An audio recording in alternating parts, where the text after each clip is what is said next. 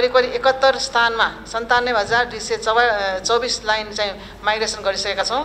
र अब यो अब यो चौहत्तर पचहत्तरमा करिब करिब दुई लाख पचास हजार ग्राहकहरूको यो हामी पुरानो प्रविधिबाट नयाँ प्रविधिमा प्रतिस्थापन गर्दैछौँ।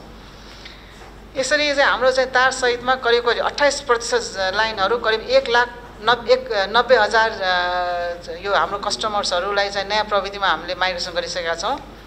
र छिटो नै हामी यो फाइबर टु होम र फाइबर लिज लाइन सेवा उपलब्ध गर्ने गरिकन हामीले यसै आर्थिक वर्षमा विभिन्न मेजर मेजर एरियामा जस्तै नक्साल छाउनी सुन्दारा पाटन चाबेल विभिन्न ठाउँमा फाइबर टु होम चाहिँ हामीले चाहिँ यो सेवा विस्तार गर्ने काम अगाडि बढिसकेको छ।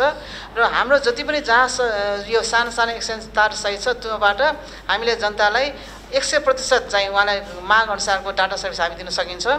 र हाम्रो चाहिँ क्वालिटी पनि पहिलाभन्दा पनि यो अलिकति राम्रो हुने हामीले हामीले चाहिँ अपेक्षा गरेका छौँ।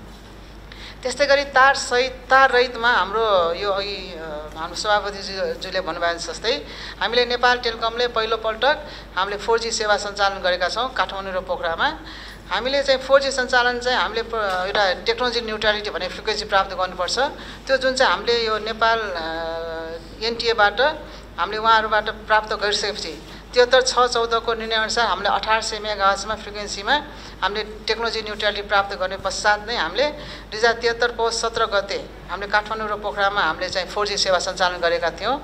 जुन चाहिँ हाम्रो यो चाहिँ समझौता भएको प्रावधान अनुसार नै हामीले यो यसलाई सञ्चालन ल्याए यसमा व्यापक रूपमा चाहिँ वृद्धि भएको छ।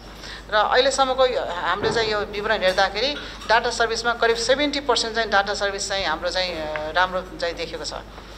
त्यस्तै गरी हाम्रो एक करोडको एउटा हाम्रो एक करोड लाइन क्षमताको हाम्रो जिएसएम आयोजना थियो। जुन जिएसएम आयोजना अनुसार हामीले यस आर्थिक वर्षमा करिब करिब नयाँ बिटिएसहरू नै बाह्र सय अठहत्तर बिटिएस हामीले नयाँ सञ्चालन गरेका थियौँ।